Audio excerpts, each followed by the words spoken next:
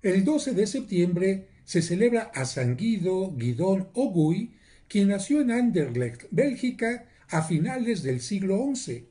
Su nombre germánico significa selva o bosque.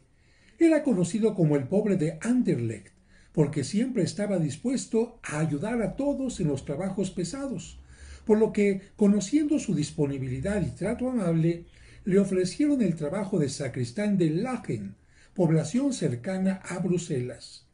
Durante muchos años desempeñó su tarea de sacristán con tanta dedicación que los fieles se admiraban de cómo cuidaba el templo a ellos mismos y practicaba largas vigilias de adoración a la Eucaristía.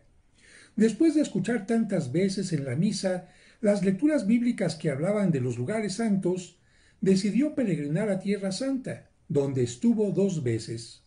A su regreso a Anderlecht enfermó y murió siendo enterrado casi en el anonimato, pero en su tumba comenzaron a suceder acontecimientos maravillosos considerados por las autoridades religiosas como sobrenaturales.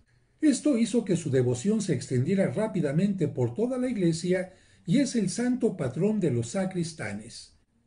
También este día se celebra el Santo Nombre de María, fiesta instituida por el Papa Inocencio XI para celebrar la victoria de los cristianos sobre los turcos después de invocar su nombre.